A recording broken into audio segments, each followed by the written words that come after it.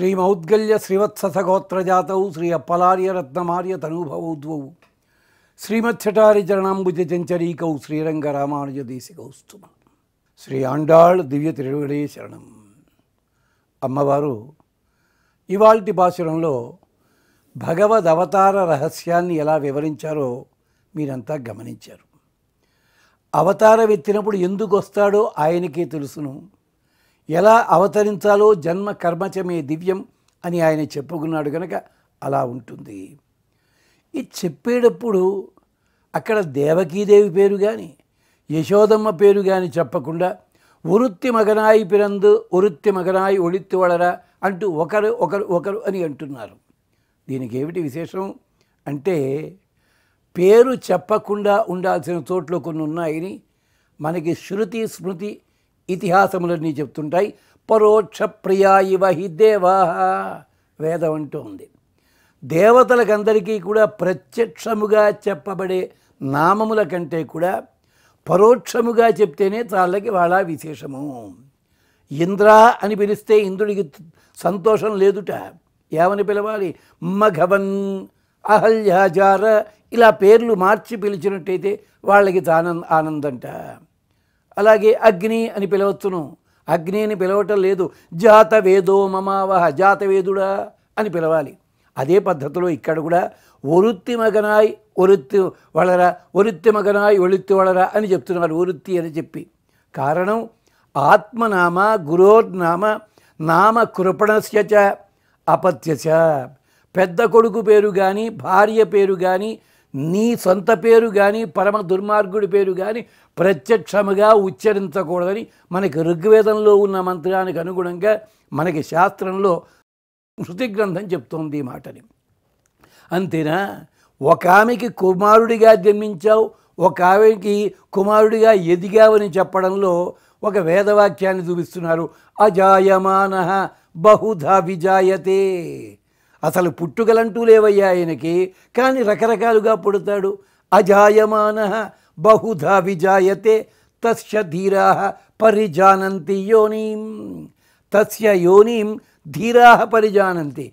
ఆయన ఎందుకలా ఆవిర్భవిస్తాడు అన్నది మామూలు వాళ్ళకి ఎవరికి తెలియదు. ధీరా ధీ అంటే పరమాత్మ. అతని ఎందు రమించు వారు ఉంటారే వాళ్ళు ధీరులు వాళ్ళు మాత్రమే చెప్పగలరు. ఎందుకు అక్కడలా ఆవిర్భవించావు? రాత్రికి రాత్రి ఎందుకు చోటు మార్చావు? మళ్ళీ అక్కడ ఆపదల నీకు కాపుదలలాయే అని చెప్పి ఆపదల్లోనే ఎందుకు పెరిగావు? మళ్ళీ ఇంకో తోటకి ఎందుకు వెళ్ళావు? ఇగో ఇది. అంతేకాదు ఆ స్వామి స్వరూపము ఎలా ఉంటుందంటే నభూత సంఘ సంస్థాన దేహో అస్య పరమాత్మన. అప్రాకృతామూర్తి. నా మాంసమేదోస్తి సంభవ అని చెప్తుంది వేదం కూడాను. ఆయన మనవలే పాంచభౌతిక దేహముతో ఉండేవాడు కాదు పంచ ఉపనిషన్మయ శరీరము. ఈ పంచభౌతికముల కంటే మూలతత్వము ఏదుందో దానికోసము ఆయన యతో వాచో నివర్తంతే అప్రాప్య మనసాస అని చెప్పి ఎవరికి కంటికి కనిపించనివాడు ఎవరికి అందనివాడు అందరికీ కంటికి కనిపించేలాగా ఊత ఏనన్ గోపాదృశన్ అదృశన్ ఉదహార్య. గోపికలకి పొద్దున్నే స్నానానికి వెళ్ళిన వాళ్ళకి లేదు నీటిని తెచ్చుకోవడానికి వెళ్ళిన వాళ్ళకి కూడా కంటికి కనిపించేలాగా మనుజ నయన విషయత్వాన్ని పొందాడు పరమాత్మ. అలాంటి వాడు ఆయన. అప్పుడు అటు కన్న తల్లిని ఇటు పెంచిన తల్లిని ఇద్దరినీ కూడా పవిత్రం చేశాట అని అంటారు మనకి పెద్దలు. అగు దానికే అంటున్నారు ఉభాభ్యాం దేవ సవిత పవిత్రేణ సభేన చ అస్మాన్ పునీ చక్షుషే. మా ఇద్దరిని కూడా అంటే అర్థం ఏమిటి? ఇద్దరు వ్యక్తులని కావచ్చు యజమానులని కావచ్చు ఉన్న ప్రకృతి జీవుడు ఇద్దరిని కూడా ఉభాభ్యాం దేవ సవిత పునీహి చక్షసే నీ చల్లని చూపులతో మమ్మల్ని రక్షించవయ్యా. మాకు రక్షణ కలిగించు మాకు ఫలితాలు లభింపజేయి. భిజ్యతే హృదయ గ్రంథి ఛిద్యంతే సర్వసంశయా క్షీయంతే జాస్య కర్మాణి తస్మిన్ దృష్టే పరావరే. నీ చూపు మా మీద పడ్డా మా చూపు నీ మీద పడ్డా. ఎలాగైనా మాకు రక్షణ కలుగుతుంది. మహాన్ శ్వాస ఇత్త అసి. నీవు శాసకుడివి శాసకుడివి అయిన వాడివి పుట్టిన వాడివి. కంసుడి పుట్టి ముంచకుండా పదేళ్ళపాడు ఎందుకు దాక్కున్నావయ్యా? శ్వాస ఇత్త అసి. అమిత్ర సహో అస్తృత. నయస్య హన్యతే సఖ. నీ సకులము మేము మాకెప్పుడూ ప్రమాదం జరగదు. దేవకి అనవసరంగా భయపడింది. కానీ పరమాత్మే పక్కనుంటే దేవకిని ఎవడైనా ఏమన్నా అనగలడా? ఏ రాక్షసుడైనా చంపగలడా? నీ స్నేహితులము మేము సఖా అదేమిటండి? భగవంతుడు స్నేహితుడా? సుబాలోపనిషత్తు చెప్పింది. భ్రాత సఖ అన్నీ పరమాత్మే. తమ్ముడు కూడా ఆయనే సోదరుడు కూడా ఆయనే అని చెప్పింది. అలాంటి వాడివయ్యా నువ్వు. అంతేనా? ఇద్దరికీ కూడా కీర్తి తెచ్చిపెట్టావు. ఎందుకని కన్నావిడి గనక గర్భానికి కీర్తి తెచ్చిపెట్టావు? నిన్ను పెంచినావిడి గనక ఆమె ఉన్న ఇంటి ప్రాంతమంతా నీ అడుగు జాడలతో పునీతమయ్యింది. ఆ రెండు పవిత్రమైన వేదికలయ్యాయి. శిగుంహీరసి ఉరు ప్రధస్వ. ఓ వేదిక నువ్వు సింహలు వంటి దాంటి దానివి శ్రేష్టమైన దానివి. శిగుంహీరసి ఉరు ప్రధస్వ. ఉరుతే యజ్ఞపతి ఇక్కడ యజ్ఞం చేస్తున్నవాడెవడో వాడు చాలా గొప్పవాడు. చాలా ప్రసిద్ధి పొందినవాడు. అంటే వసుదేవుడు యజ్ఞకర్త నందుడు యజ్ఞకర్త యజ్ఞకర్తలకి ఇద్దరికి క్షేమాన్ని తెచ్చిపెట్టావు. ప్రథతాం ధ్రువాసి. అటు మధురా నగరము నీ పుట్టుగైన కారణం చేత జన్మస్థలముగా గొప్ప పేరు. నువ్వు పెరిగిన తోటైన రేపల్లె అది కూడా గొప్పదయ్యింది. అంటే భగవంతుడు ఆవిర్భవించిన తోటు ఎదిగిన తోటు రెండూ కూడా పవిత్రమవుతాయి. దేవేభ్య శుంభస్వ దేవానాం సుంధస్వ నీవు దేవతలకందరి కోసమే ప్రకాశించాలి. దేవతలకందరి కోసమే విస్తరించాలి. అంచేతే కృష్ణావతారం గడిచిపోయి ఎన్ని వేల సంవత్సరాలైనా ఆ క్షేత్రాన్ని మనం అంతగా ప్రేమగా ఆదరిస్తూ ఆరాధన చేస్తున్నాము. అందుకనిట అదే ఇక్కడంటూ పుట్టిన రాత్రికి రాత్రే ఊరు మార్చావే చోటు మార్చావే ఊరరవిల్ ఒరుత్తి మగనాయి ఒళిత్తు వలరా. అదే రాత్రి ఇక అలాంటి రాత్రి ఎక్కడా ఉండదయ్యా. రాతి సుఖం ఇతి రాత్రి.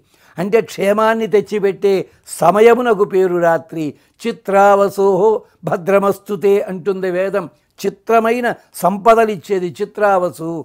లేదు చిత్రావసు అంటే రాత్రికి పేరు. ఎలా వెళ్ళావయ్యా స్వామి? ఏమిటి చమత్కారము? అంటే కాపలా వాళ్ళు చూడలేదా? ఎవళ్ళు చూడలేదా? ఏమన్నా నీ యోగ నిద్ర ఉంటే ఒకరికో ఇద్దరికో మొత్తం ప్రపంచాన్నంతా యోగ నిద్రలో ఉంచావే?